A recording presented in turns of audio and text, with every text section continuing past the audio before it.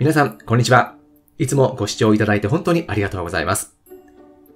この写真は我が家の玄関横を彩ってくれているロータスブリムストーンです。ご覧のように、この黄金色をした新芽のモフモフ感がもう何とも言えず可愛らしい一株です。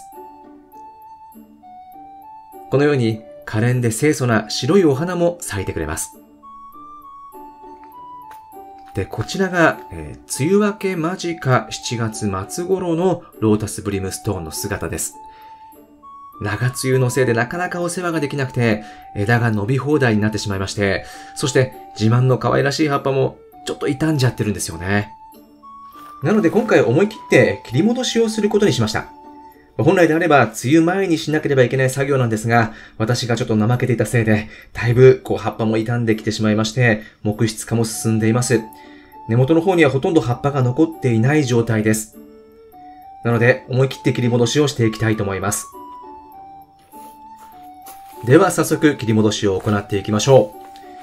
まあ、今回はですね、もうだいぶ樹形も乱れてしまっているので、えー、まあ、ちょっと怖いんですが、極力短く切り戻しをしてみようと決めました。可能な限り新芽を残しつつ、短くバッサリと切っていきます。まこの切り戻しという作業は、こう、最初はね、恐る恐るこの辺かなとか思いながらハサミを入れるんですが、だんだんこう、切り進めていくうちに、切り戻し廃状態になっちゃうことってないですか？これ結構後半になるとこう躊躇なくハサミを入れられるようになるんですよね。で、気がつくと結構切っちゃったなっていうふうに思うこともあるんですが、まあ、今回はどうでしょうか？結構切ってしまいました。まあ、新芽は少し残してあるんですが、短くバッサリと思い切って切ってみました。どうか新しい芽が出ますように。そして切り戻しをした枝を使って挿し木を行います。使用するのは鹿沼土。私はこの鹿沼土での挿し木が割と成功率は高いです。ルートン、発根剤をつけて挿し木を行っていきます。元気な枝を選んで、切り口を斜めにしまして、ルートンをつけていきます。つけすぎはあまり良くないので、まあ、これぐらいでいいと思います。この挿し木という増やし方を初めて知った時に、本当にこれで根っこ出るの？って思ったんですけど、これが出るんですよね。植物ってほんとすごいですよね。初めて成功した時の感動を今でもよく覚えています。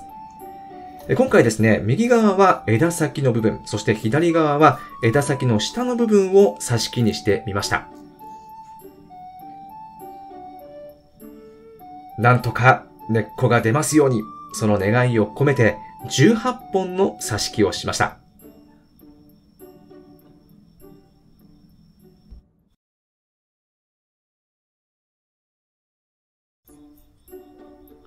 切り戻しをした株を見てみると、ご覧のように枯れてしまっているようです。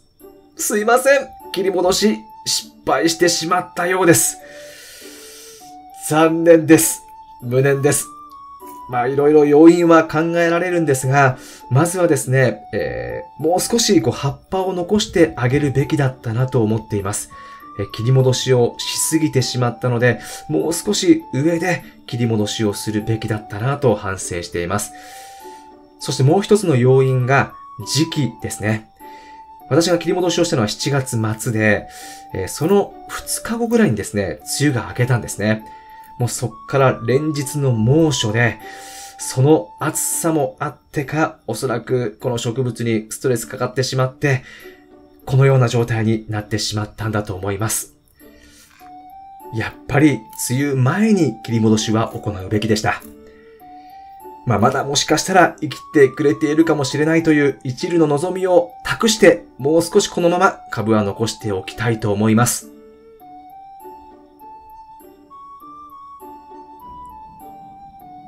一方、こちらは挿し木をしたものですが、新芽も出てきてくれているので、こちらは根っこが出てると思います。なので今日、鉢上げを行っていきます。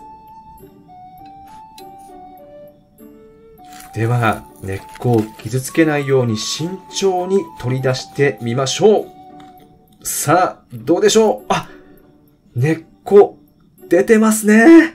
よかったやっぱり嬉しいですね。根っこ、出てくれました。夏場の挿し木だったので、えー、ほぼ日陰で水を切らさないように管理しました。枝先の差し穂だけではなくて、枝先の下の部分の差し穂からもちゃんと根が出ていましたので、発根率は100%です。いやーよかったです。まあなんとかですね、命の助けをつなぐことができそうです。ではこのポリポットに植えていきましょう。ポリポットの底にはネットを敷いてあります。そこに赤玉土と腐葉土で作った土に、えー、まあ、加湿を嫌うということなので、パーライトを混ぜてあります。さらに元声も少し混ぜてあります。そこに水をかけていきます。では、植え付けていきましょう。全部で18本ありますので、一つのポリポットに対して2本ずつ植え付けていきたいと思います。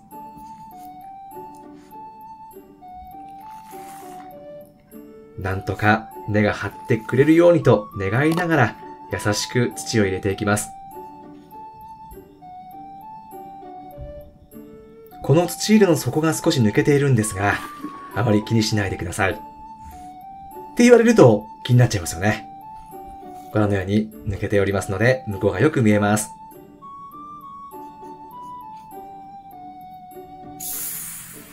最後に水をたっぷりとかけて鉢上げ完了です。今回はですね、切り戻しをちょっと失敗したかもしれませんが、ぜひですね、反面教師として皆様は切り戻しの時期や場所など間違えないように気をつけてください。でも命の助けになんとか繋ぐことが、ちょっとセミがすごいですね。つくつく帽子がすごい鳴いてます。夏ですね。はい。ということで、セミも鳴き止みました。え、もしですね、あの株がまた復活して新芽が出てきたら、皆様に改めてご報告させていただきたいと思います。最後までご視聴いただいて本当にありがとうございました。ぜひチャンネル登録もよろしくお願いいたします。では、また。